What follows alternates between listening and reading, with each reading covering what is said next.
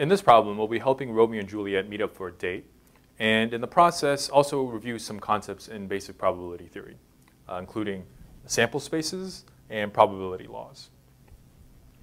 This problem, uh, the basic setup is that Romeo and Juliet are trying to meet up for a date. Now, let's say they're trying to meet up for lunch tomorrow at noon, but they're not necessarily punctual. So they may arrive on time uh, with a delay of zero, uh, or they may actually be up to one hour late and arrive at 1 p.m.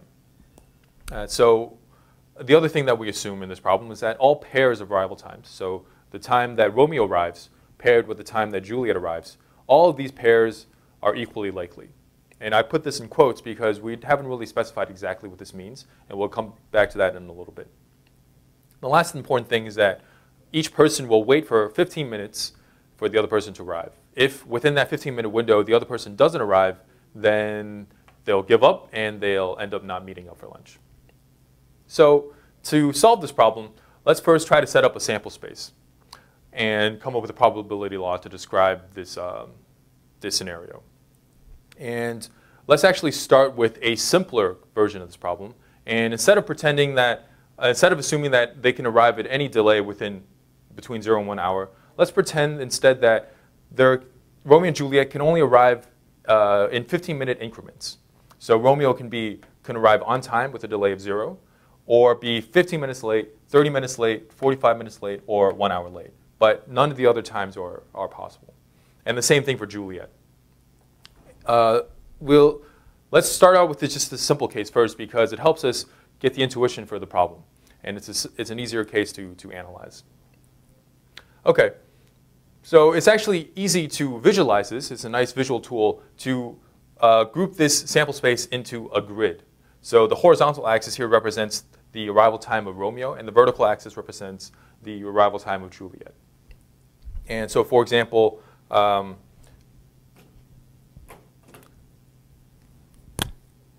this point here would represent uh, Romeo arriving uh, 15 minutes late and Juliet arriving 30 minutes late. Okay, so this is our sample space now. This is our omega. Uh, and now let's try to assign a probability law. And we'll continue assume, to assume that all pairs of arrival times are equally likely. And now we can actually specifically specify what this, uh, what this term means. And in particular, we'll be invoking the discrete uniform law, which basically says that all of these points, which are just outcomes in our, uh, in our probabilistic um, experiment, all of these outcomes are equally likely. And so since there are 25 of them, each one of these outcomes has a probability of 1 over 25.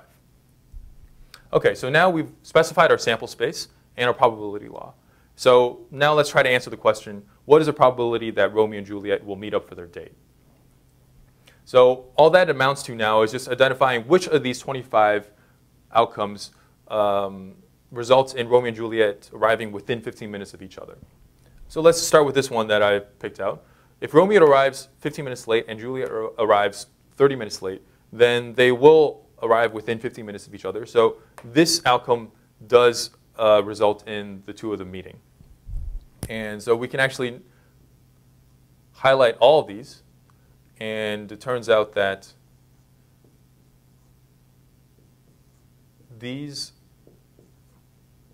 outcomes that I'm highlighting result in uh, the two of them arriving within 15 minutes of each other. All right, so uh, because each one has a probability of 1 over 25, all we really need to do now is just count how many outcomes there are. So there's 1, 2, 3, 4, 5, 6, 7, 8, 9, uh, 10, 11, 12, 13, 13. So the probability in the end is, for the discrete case, the discrete case, I'm referring to the case where we've simplified it and considered only arrival times within increments of 15 minutes. In this case, the probability is 13 over 25. Okay, so now we have an idea of how to solve this problem. Uh, it amounts to basically coming up with a sample space, a probability law, and then identifying the event of interest and calculating the probability of that event. So now let's actually uh, solve the problem that we really are interested in, which is that uh, instead of confining Romeo and Juliet to arrive within only 15-minute increments, really time is continuous and Romeo and Juliet can arrive at any time. So they don't necessarily have to arrive 15 minutes late. Romeo can arrive uh, 15 minutes and 37 seconds late if he wanted to. Uh, so now our new sample space is actually just, instead of only these 25 points in the grid, it's this entire square. So any point within the square could be a possible pair of meeting times between Romeo and Juliet. Um, so that is our new sample space, new, our new omega. And now let's assign a new probability law.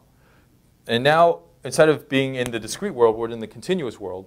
And the analogy here is to consider um, probabilities as areas. So this, the area of this entire square is 1. And that also corresponds to the probability of omega, the sample space. And uh, imagine just spreading probability evenly across this square so that the probability of any event, which in this case would just be any shape within the square, is exactly equal to the area of that shape. Okay, so now that is our new sample space and our new probability law. So what we have to do now is just identify the event of interest, which is still the events that Romeo and Juliet arrive within 15 minutes of each other. So let's do that. Uh, if Romeo and Juliet arrive both on time, then obviously they'll meet. And if Romeo is on time and Juliet is 15 minutes late, then they will still meet. And in fact, uh, any time, any pairs of meeting times between these would still work because now Romeo can be on time and Juliet can arrive at any time between 0 and 15 minutes late. But you, you can notice that if, if Juliet is a, even a tiny bit later than 15 minutes, then they won't end up meeting. So this segment here uh, is part of the event of interest. And similarly, this segment here is also part of the event. And if you take this exercise and extend it, you can actually verify that the event of interest is this kind of, this strip shape uh, in the middle of the square. Which, if you think about it, makes sense because you want the arrival times between Romeo and Juliet to be close to each other. So you would expect it to be somewhere uh, close to a diagonal in the square. All right, so now we have our event of interest, we have our sample space and our probability law. So all we have to do now is just calculate what this probability is. And we've already said that the probability in our samples, in this probability law, is just areas. So now it actually just boils down to not a probability problem, but a problem in geometry. So to calculate this area, you can do it in lots of ways. Uh, one way is to calculate the area of the square, which is 1, and subtract the areas of these two triangles. All right, so let's do that. So in the continuous case, the probability of meeting is going to, going to be 1 minus the area of this triangle. Well, the base here is 3 fourths and 3 fourths. So it's 1 half times 3 fourths times 3 fourths. That's the area of one of these triangles. So there's two of them, so we'll multiply by 2 and we end up with 1 minus 9 sixteenths or 7 sixteenths as our final, final answer. Okay, so in this, in this problem, we've um, reviewed some basic concepts in probability, and that's also helped us solve this problem of helping Romeo and Juliet meet up for a date. And if you wanted to, you can even extend this problem even further and kind of turn it on its head.